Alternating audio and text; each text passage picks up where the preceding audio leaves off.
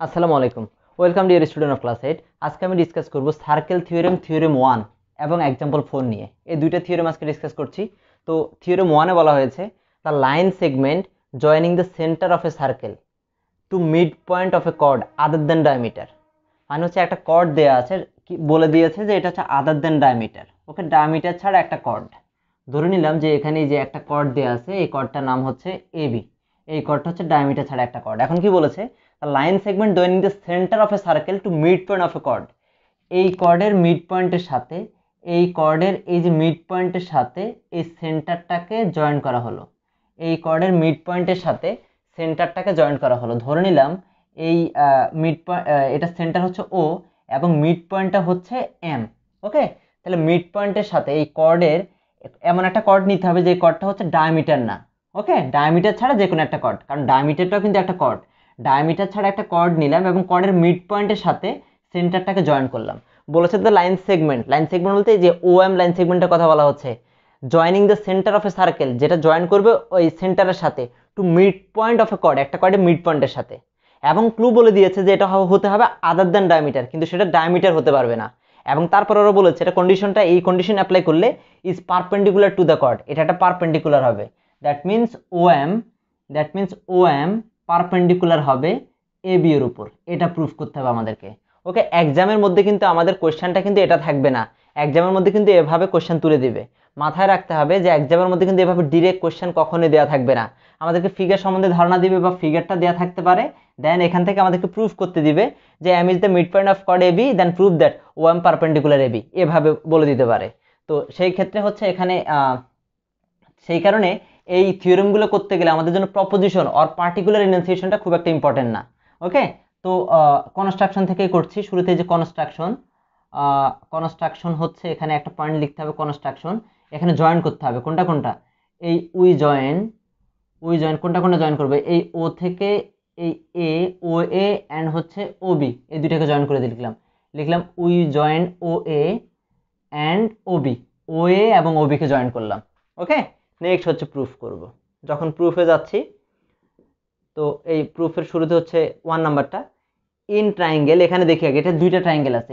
এটা একটা ট্রাইঙ্গেল এটা একটা ট্রাইঙ্গেল তো এই ট্রাইঙ্গেলটার নাম হচ্ছে ও এম আর এটার নাম হচ্ছে ও বি এম ধরে নিলাম in triangle O M and triangle আর একটা ট্রাইঙ্গেল আছে ও বি এম ওকে তো এই দুইটা ট্রাইঙ্গেল মধ্যে আমরা কনগ্রুয়েন্স প্রুফ করব। কনগ্রুয়েন্স কি? একটা ট্রাইঙ্গেলকে আরেকটা ট্রাইঙ্গেলের উপর প্লেস করলে, যদি ফুললি কভার্ড করে ফেলে, তখন তাকে বলা হয় কনগ্রুয়েন্স তো আমরা সেটাই দেখব। আর কনগ্রুয়েন্সের বাংলা মিনিং হচ্ছে সর্বসম।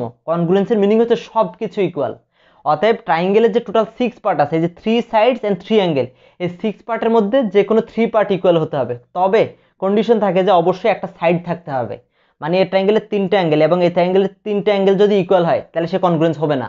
সেটাকে বলা হবে ইকুই অ্যাঙ্গুলার মানে হো একটা সাইড দুইটা অ্যাঙ্গেল বা দুইটা সাইড একটা অ্যাঙ্গেল অর থ্রি সাইডস আরেকটা যদি থ্রি সাইডের সমান হয়, তখন তাকে বলা হয় কনগ্রুয়েন্স মানে আমরা এমনি মাথায় রাখতে পারি যে যে কোনো তিনটা জিনিস ইকুয়াল হলে, যে কোনো তিনটা জিনিস ইকুয়াল হলে সে কনগ্রুয়েন্স তবে অবশ্যই একটা সাইড থাকতে হবে। তিনটা জিনিসের মধ্যে অবশ্যই একটা সাইড থাকতেই হবে। মিনিমাম একটা সাইড ওকে তো অতএব এখানে আমরা দেখব যে থ্রি সাইডস এখানে থ্রি পার্ট ইকুয়াল কিনা। টোটাল ট্রাইঙ্গেলের পার্ট হচ্ছে ছয়টা।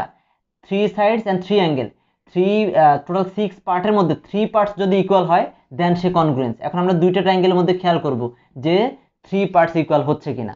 তো আমরা শুরুতে দেখতে পাচ্ছি যে এখানে A M and B M equal কেন ইকুয়াল কারণ কোশ্চেনে বলা হচ্ছে যে মিড পয়েন্টের সাথে জয়েন করছি আমরা।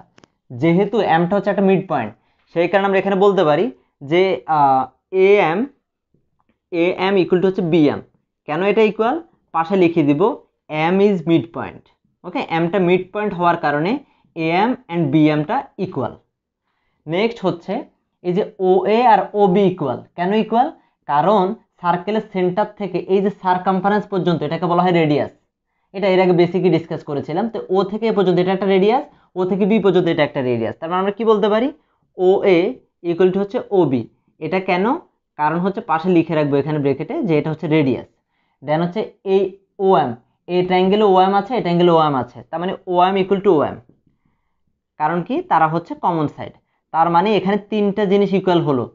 ওকে কমন সাইড তিনটা জিনিস। দুইটা ট্রাইঙ্গেলের মধ্যে দেখো তিনটা জিনিস ইকুয়াল তার মানে দুইটা ট্রাইঙ্গেলকে আমরা বলব কনগ্রুয়েন্স তাহলে এই যে ও এ এম এই কনগ্রুয়েন্সের সাইন দিতে হবে এবং ও বিএম এই দুইটা ট্রায়াঙ্গেল কনগ্রুয়েন্স যেহেতু থ্রি পার্টস ইকুয়াল হলো, সেই কারণে।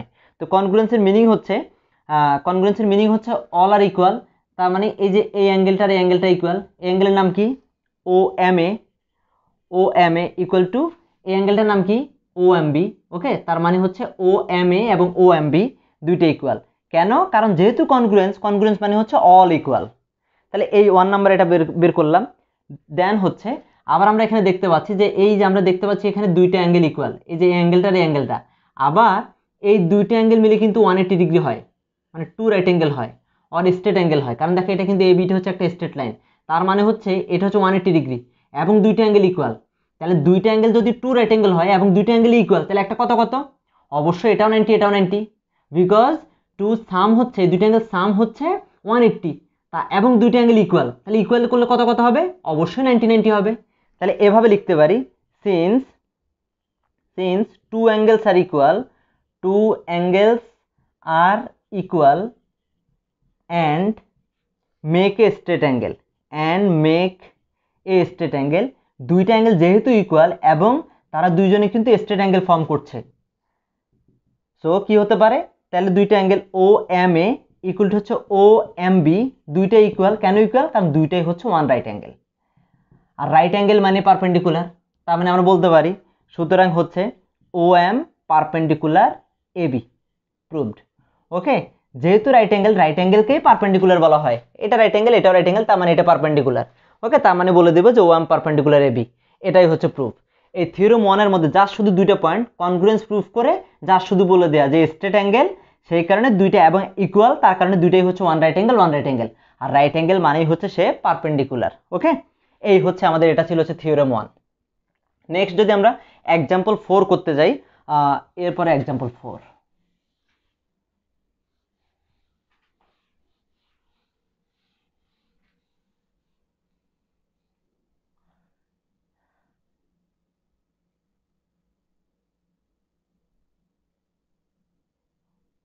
এক্সাম্পল ফোরে বলা হচ্ছে। Example four diameter diameter is the greatest chord diameter is the greatest chord of a circle একটা সার্কেলের গ্রেটেস্ট কর্ড হচ্ছে ডায়ামিটার প্রুফ করতে হবে।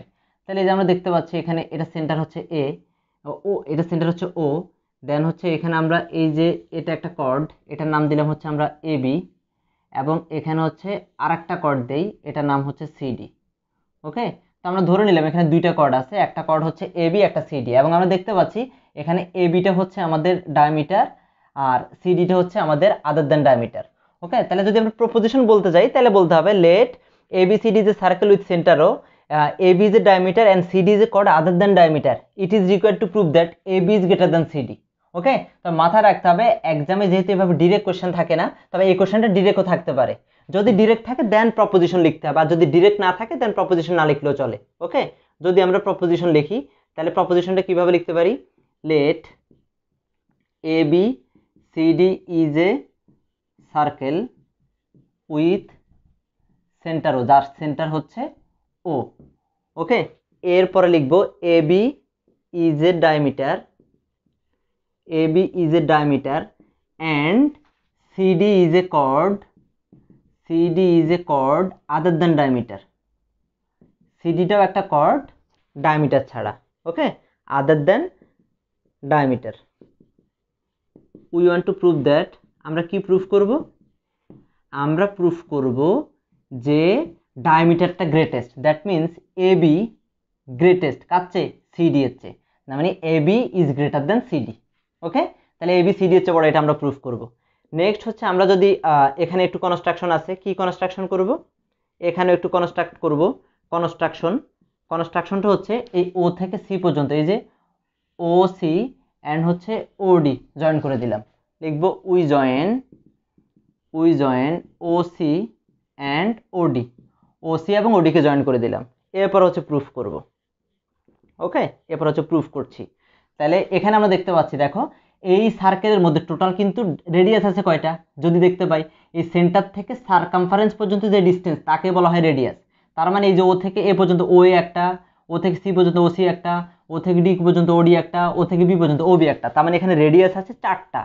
এবং ফ্রম দ্য ফিগার আমরা জানি প্রত্যেকটা রেডিয়াস কিন্তু ইকুয়াল সার্কেলের যতগুলো রেডিয়াস থাকবে, সেই সেই কারণে আমরা লিখতে পারি, O A equal to O B equal to O C equal to OD okay because এরা হচ্ছে প্রত্যেকে রেডিয়াস রেডিয়াস হওয়ার কারণে প্রত্যেকটা রেডিয়াস ইকুয়াল এই যে O A O C O D O B প্রত্যেকটা রেডিয়াস কিন্তু ইকুয়াল বিকজ একটা সার্কেলে যতগুলো রেডিয়াস থাকবে, প্রত্যেকটা রেডিয়াস ইকুয়াল হয়।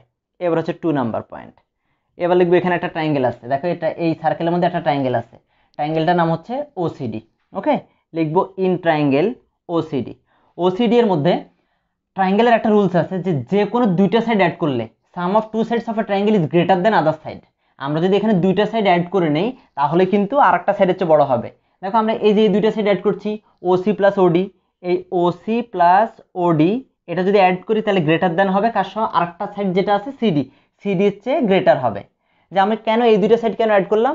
বিকজ আমাদেরকে প্রুফ করতে হবে A B is greater than CD তার মানে রাইট সাইডে গ্রেটারের পরে থাকবে সিডি এর জন্য এখানে গ্রেটারের পরে সিডিটাকে রাখলাম। যেহেতু আমাদেরকে প্রুফ করতে হবে গ্রেটারের পরে আছে সিডি তাহলে মানে সিডিটা হচ্ছে স্মলার এই জন্য স্মলারের পরে রাখব আমরা, এই যে মানে সিডিটাকে স্মলারে রাখব ওকে সেই কারণে বাকি যে দুইটা সাইড আছে ওসি অ্যান্ড ওডি প্লাস করে এটাকে দিলাম হচ্ছে গ্রেটার দ্যান সিডি এটা কীভাবে লিখতে পারি? লিখতে হবে এখানে sum of two sides of sum of two sides of any triangle sum of two sides of any triangle is greater than is greater than other side এবং অন্য সাইডের চেয়ে সে বড় হবে, এটা বলতে হবে। ওকে এটাকে জাস্টিফিকেশন লিখতে হবে, কিন্তু এখানে পাশে থার্ড ব্র্যাকেটে লিখে দিবা। অর এরপর আমাদের তো প্রুফ হয়নি, আমাদের মিলাতে হবে কিন্তু এবি এবিটাকে নিয়ে আসতে হবে। তাই এবি কোথায় আছে? যে এই পুরোটা হচ্ছে এবি তাহলে এবিটাকে কীভাবে মিলাতে পারি? তাকে এবিটাকে ভাঙলে কিন্তু দুইটা ভাগ হচ্ছে, একটা ও এ একটা ওবি তার মানে আমাকে ও এ এবং ওবিটা মিলাতে হবে। কীভাবে মিলাবো? ওসির জায়গায় আমরা ও এ লিখে দিতে পারি। কেন ও এ লিখে দিতে পারি? বিকজ প্রত্যেকটা তো ইকুয়াল এবং ওডির জায়গায় আমরা ওবি লিখে দিতে পারি। কেন ও বি লিখতে পারি? আবারও বলছি, প্রত্যেকটা তো রেডিয়াস প্রত্যেকটা ইকুয়াল তাহলে আমি কেন এখানে কীভাবে বুঝব? ও এ প্লাস ওবি লিখব? কারণ আমরা ফিগারে দেখতে পাচ্ছি ও এ এবং ওবিকে একসাথ করলে কিন্তু পুরোটা এবি হচ্ছে। তার মানে আমাকে যেহেতু এবি মিলাতে হবে, তার মানে ও সির পরিবর্তে ও এ নিয়ে আসব ওডির পরিবর্তে ওবি নিয়ে আসব। আর গ্রেটার দ্যান আছে গ্রেটার দেন সিডি আছে সিডি ওকে নেক্সট হচ্ছে ও এ এবং ওবিকে অ্যাড করলে ও এ এবং ওবিকে অ্যাড করলে কিন্তু এবি হচ্ছে। তার মানে এটা জায়গায় লিখে দেবো AB AB is greater than CD এটাই কিন্তু প্রুভড ওকে আমাকে বুঝতে হবে যে আমাকে কি প্রুফ করতে হবে। যেটা প্রুফ করতে হবে, সেটা আমাকে যে কোনো ওয়েতে মিলিয়ে দিতে হবে। এটাই হচ্ছে আমাদের এক্সাম্পল ফোর তবে এটা জেএসসি টু থাউজেন্ড নাইনটিনে চলে আসছে এই জন্য আমাদের জন্য এবার একটু লেস ইম্পর্টেন্ট এই এই থিওরেমটা তবে থিওরেম টু থ্রি খুবই ইম্পর্টেন্ট নেক্সট ক্লাসে আমরা থিওরেম টু থ্রি দেখব। ওকে থ্যাংক ইউ ভালো থেকো, আল্লাহ হাফেজ।